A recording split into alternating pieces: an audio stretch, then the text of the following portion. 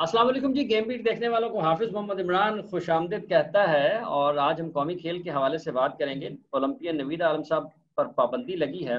Pakistan hockey federation की तरफ़ से, पंजाब हॉकी एसोसिएशन ने लगाई है। इस पर नवीद साहब की राय लेते हैं और जानते हैं कि हालात किस तरफ़ जा रहे हैं। पाबंदी की वजह क्या है? वैसे जो बताया गया है सेक्रेटरी पी की तरफ़ से वो यही है कि मतवाजी तंजीमें हैं और पाकिस्तान हॉकी के मफादात के खिलाफ या पाकिस्तान हॉकी के खिलाफ काम कर रहे हैं। नवीद साहब सलामकुम बहुत शुक्रिया आपका। आ, ये क्या वजह है जी? पाबंदी आप पर क्यों लगी है? जो आ, पाकिस्तान हॉकी फेडरेशन या पंजाब हॉकी एसोसिएशन की तरफ़ से पाबंदी की वजूहत सामने आई हैं आप उस पर क्या कहेंगे? इतफाक करते हैं? ठीक किया उन्होंने? आप गलत काम कर रहे थे? बिस्मिल्लाहिर्रहमानिर्रहीम। पहले तो साहब थैंक यू वेरी मच इस मीडिया के ज़रिए मुझे पता चला कि मेरे ऊपर पाबंदी लग गई है। क्योंकि हम तो अपने मैचेस में लगे हुए थे एकेडमी डेवलपमेंट में लगे हुए थे। और जो बातें की हैं हमारे सेक्रेटरी प्रोविंस खालिद कोकर के भाई ने, वो बड़ी जू मायनी और हँसी वाली बात थी। जिस बंदे को यही नहीं पता कि उसका आइन क्या कहता है, आपकी कैपेसिटी क्या है। आपने किसी मेंबर को अगर कोई चीज़ लिख के किसी के खिलाफ कंप्लेंट है तो आप उसको शो कॉज करते हैं। शो कॉज के बाद उसका जवाब आता है। अगर वो रिप्लाई आपके मुताबिक नहीं है तो आप उस पर एक्शन ले। ये कौन सी एग्जेक्टिव कमेटी है जिसमें खालिद खोकर का भाई खालिद खोकर का भतीजा खालिद खोकर का भांजा खालिद खोकर का कज़न और उसका रिटायर्ड मेजर भाई बैठा हो। ये हम्म। कौन सी एग्जेक्टिव कमेटी है? ये तो corona and family and foundation family friend foundation कहूँगा। Hockey hmm. से अब सब इनका क्या ताल्लुक है? जो मीर जमाली ने आज से दो तीन पाँच साल पहले एक बात कही थी वो आज साबित हो गई। हमारी गलतियाँ हमारे गुनाह थे हॉकी वालों के और वो इसका फ़ायदा एक रिटायर्ड बंदा जिसके पास जॉबलेस है और उसका भाई भी जॉबलेस है उसके पास कोई दूसरी ऑप्शन नहीं है और वो सारी फेडरेशन में बैठ के हॉकी की खिदमत कर रहे हैं। लेकिन इंडिपेंडेंस डे के एक ऊपर एक मैच ऑर्गेनाइज ना करने वाली ऑर्गेनाइजेशन या फेडरेशन हम्म। और वो क्या कर सकती है? तो मुझे अफसोस हुआ लेकिन अफसोस के साथ ये है कि चलें अच्छा हुआ I am out of federation मैं तो ऑनररी मेंबर हूँ पीएचए का ऑनररी मेंबर हूँ मैं पाकिस्तान हॉकी फेडरेशन का मैं ऑनररी मेंबर हूँ पाकिस्तान ओलंपिक एसोसिएशन का। तेरह साल से पंजाब हॉकी एकेडमी सिस्टम चला रहा हूँ बगैर किसी पैनी के गवर्नमेंट के पैसे के। ये सिर्फ़ बातें हैं आप साहब। हम्म। इससे कोई ताल्लुक नहीं है। आज के दिन तक अगर पैरेलल फेडरेशन बनानी होती हम्म। जब मीर रफुल्ला खान जमाली प्रेसिडेंट पीएचएफ थे तो क्या उस वक्त ओलंपियंस मोस्टली ओलंपियंस आज भी और उस वक्त भी एक पेज पे बैठे हुए थे? क्या हम हम में से ऑर्गेनाइजेशनल ओलंपियन की बात कर रहा हूँ? हम्म। क्या हम में से किसी ने कभी पैरेलल एसोसिएशन या फेडरेशन बनाई। अल्हम्दुलिल्लाह नहीं। ये बिल्कुल फेक बातें हैं फेक चीज़ें हैं। फेलियर है इनका पाँच साल का हॉकी से हॉकी जो है वो उसका पुरसाने हाल नहीं है। परफॉर्मेंस की तरफ़ देखें तो वो आप ए, 2008 ओलंपिक्स में आप सातवें नंबर पे थे वर्ल्ड रैंकिंग में। 2008 के बाद जो पैराशूट लैंडिंग हुई आज सत्रहवें नंबर पे है। करप्शन के इल्ज़ाम के ऊपर खालिद खोकर को पिशावर हाई कोर्ट इन्हीं के हाउस के मेंबर हमारे रिस्पेक्टेड ज़ाहिर शाह उन्होंने केस किया करप्शन के ऊपर बदनवानी के ऊपर जिसके ऊपर खालिद खोकर के वारंट गिरफ़्तार जारी हुए। As a director domestic Naveed Alam उनके मुचलके जमा करवा रहा है उनकी जमानत दे रहा है। तो ये तो इनका पीछे का कैरेक्टर था। बेसिकली जब मैंने फेडरेशन में रिजाइन किया आप भी तो आप भी तो उनके मुचलके जमा करा रहे हैं ना थे डायरेक्टर डोमेस्टिक नवीद आलम साहब। सर वो गुनाह का खमियाजा भुगता है ना फिर हमने। लेकिन एक चीज़ थी कि जिसके ऊपर एक वेव लाइन थी कि हॉकी को वापस लाया जाए काम किया जाए।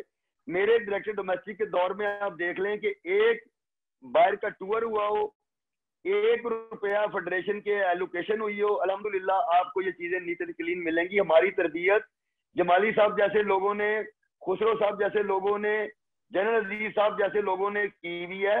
ये बिलो द बेल्ट लोग आ गए हैं जो आर्मी से भी बेचारों को इन्होंने आर्मी की भी इंसल्ट की इन्होंने पाकिस्तान हॉकी की भी इंसल्ट की।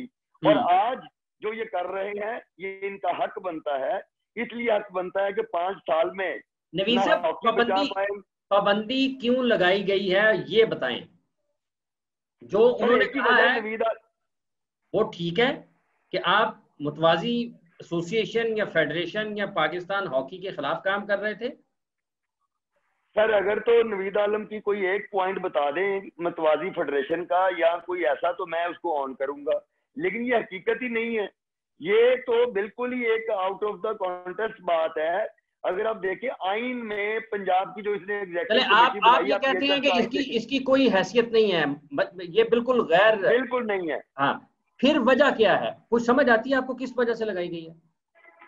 सर एक ही वजह है कि नवीद आलम फ्रंट लाइन पे खेल रहा है। उसकी पाबंदी का मकसद था आसिफ खोखर का कि मैं खालिद खोखर के पास जाऊँ उनको अपनी सर्विसेज़ पेश करूँ और उसके बाद जो ये इनकी बदनवानियाँ हैं चोर बाजारियाँ हैं इसको चुप करके बैठ जाऊँ। और बिल्कुल हॉकी बर्बाद हो रही है इसको होने दूँ। और ये जो ऐसे इकबाल की समदीज्म के ऊपर हॉकी में आए हुए हैं और प्राइम मिनिस्टर ऑफ़ पाकिस्तान दो साल से आप देखिए अब साहब sorry to interrupt you IPC minister ने चार दिन पहले क्या बोला? ऑडिटर जनरल ने क्या बोला? वलीद इकबाल सेनेट ने क्या बोला? आपके स्टैंडिंग कमेटी स्पोर्ट्स ने क्या बोला? ये सारी वो चीज़ें हैं जो ऑन रिकॉर्ड हैं। क्योंकि मैं फ्रंट लाइन पे हूँ इनको एक्सपोज किया उन्होंने क्या बोला? इनको इन सबने क्या बोला? उन्होंने देखें आईपीसी मिनिस्टर की जो बात थी उन्होंने कहा जी कि एडिटर जनरल के जो ऑब्जेक्शन हैं वो हमारे नहीं हैं वो बदनवानियाँ हुई हैं। हम्म। बदनवानियाँ फेडरेशन पिछले जी लिख के नहीं दे सके। और पीएचएफ कौन सी है? पीएचएफ का तो नाम यूज़ हो रहा है बाकी तो ये फ्रेंड्स एंड फैमिली फाउंडेशन है। अगर आप देखेंगे कोचों की दो टीमें सेक्रेटरी की अपनी टीम प्रेसिडेंट की अपनी टीम आप देख लें ये बातें वो हैं जो ऑन रिकॉर्ड है साहब लेकिन नवीन साहब आप आप गुजश्ता गुजश्ता बारह बरस में आप पाबंदियों का ही शिकार हैं। शहबाज साहब के दौर में कुछ वक्त आप डायरेक्टर डोमेस्टिक रहे दो ढाई बरस के जितने बरस भी। उसके अलावा तो आप ऑपोजिशन में रहे हैं वजह क्या है इसकी? जी अब साहब ये देखें मैं 2008 में as a associate secretary elect हुआ था। 2005 में सेक्रेटरी प्रोविंस इलेक्ट हुआ था। मेरी बैलक कह लें खुशकिस्मती कह लें कि मैंने बलोचिस्तान से एक बड़े स्टेचर को अपना बाप और अपना बड़ा बुज़ुर्ग माना और जिसकी तकलीफ़ पूरे पाकिस्तान को हुई। उस तकलीफ़ का खेम्याजा था कि नवीद आलम अगर आपने इस प्लेटफॉर्म पे चलना है तो आपको तकलीफें होंगी। हमें तकलीफें बर्दाश्त है। हम अपने रहनुमाओं की जो बात है उसको नहीं छोड़ सकते। हम हम्म। हॉकी नहीं छोड़ सकते। अगर मेरी ये विषय आपके प्रोग्राम की तवसर से कह रहा हूँ खालिद खोकर आसफ बाजवा और ये जितने भी शाह से ज़्यादा शाह के वफादार हैं इनको आप ऑन बोर्ड ले लें मेरे असासे भी चेक कर लें इनके भी चेक कर लें। साइकिल पे आए थे मर्सिडीज तक पहुँच गए पसरूर से डीएचए का सफ़र खालिद खोकर के जो मामला है रिटायर्ड लाइफ में ए, बहुत कुछ करना है तो पीएचएफ से अच्छा प्लेटफॉर्म कोई नहीं था तो वो छोटे भाई को भी ले आए उसके बाद भतीजे को भी ले आए ये सारी वो चीज़ें हैं जो मेरे अगेंस्ट मुझे इनको तकलीफ़ देती हैं। हम्म। ये तकलीफ़ मैं फेडरेशन में हूँ फेडरेशन के बाहर हूँ। ना तो मेरी ज़ुबान रोक सकते हैं ना मुझे हॉकी के ऊपर काम करने से रोक सकते हैं। हम्म। क्योंकि खुद तो कर नहीं सकते। तो इस वक्त इनको एक ही चीज़ चाहिए थी कि इशू क्रिएट हो। संडे को हमारी ओलंपियन फोरम की मीटिंग है। इसके अलावा पाकिस्तान स्पोर्ट्स एंड कल्चर के लोग यकजहती पे आ रहे हैं। हम्म। पंजाब हॉकी एकेडमी जो है वो सेल्फ स्पॉन्सर के तहत चल रही है। क्लब्स को हम चल रहे पीएचए या पीएचएफ बताए कि उसने आज के दिन तक हमें क्या दिया? हॉकी वालों को पूरे पाकिस्तान में किस क्लब को किस एकेडमी को इन्होंने क्या दिया? ये तो दो खिलाफ क्या करेंगे आप? इस पाबंदी के खिलाफ क्या करेंगे? सर ये कंडेम्ड ऑफ़ कॉल है? मेरी हद तक इज़्ज़त हुई है। एक ऐसा बंदा जो क्लब की हॉकी नहीं खेला जो हमारे शूज़ और किटे उठाता था वो बंदा सेक्रेटरी प्रोविंस बन गया कि वो खालिद खोखर का भाई है? ठीक है ये लोग तो अगला एक, एक, एक, आप, आप अदालत जाएँगे अदालत जाएँगे आप इस पाबंदी के खिलाफ। सर इसके ऊपर मेरी लीगल एडवाइजर से बात होगी पाबंदी के ऊपर इस पाबंदी की वैल्यू ही नहीं है ये वैल्यू नहीं, नहीं है अदालत अब अब। अगला लाया अमल क्या होना चाहिए? क्या पाकिस्तान के कौमी खेल को बचाने के लिए किस चीज़ की ज़रूरत है? Simple best possible national federation prime minister of Pakistan दो साल से इनको मुँह नहीं लगाया इनको बुलाया नहीं। जिससे हॉकी की अदारे की, की बेइज्जती हुई। आईपीसी मिनिस्टर साहिबा ने भी सारे इल्ज़ाम लगा दिए। वज़ीर आज़म ने क्यों नहीं बुलाया? हरासमेंट वज़ीर आज़म ने क्यों नहीं बुलाया? इनकी अहलियत के वज़ीर आज़म के पास इनकी डिटेल्स मौजूद हैं। वैसे भी ये ऐसे इकबाल की समदीज्म के ऊपर फेडरेशन में आए थे हम्म। और जो इनके मामला थे वो हम्म। देखते हुए मेरे ख्याल में जितना टाइम प्राइम मिनिस्टर ने इनको दे दिया अगर इमरान खान इनको प्रॉब कर लें और एक बेस्ट पॉसिबल टीम स्टेचर के मुताबिक वो बन जाए जैसे इस्लाउद्दीन साहब से मुलाकात हुई बाकी ओलंपियन से मुलाकात हो रही है। इसके अलावा और बहुत बड़े लोग जिसमें मैं हमेशा मीर रफुल्ला जमाली साहब को इसलिए मेंशन करता हूँ कि हॉकी वालों अपने गुनाह की माफ़ी मांगो। कर्नल कर्नल मुदस्सर साहब कहते हैं कर्नल मुदस्सर कहते हैं कि आर्मी चीफ सदर बने पाकिस्तान हॉकी फेडरेशन के तो मसाइल हल होंगे। कर्नल मुदस्सर साहब ने आर्मी चीफ को ये मैसेज कन्वे किया था कि आपका नाम यूज़ हो रहा है। हाँ। अगर आपके नाम यूज़ करके इसकी परफॉर्मेंस ये है तो बेहतर है कि आप खुद ही आ जाएँ।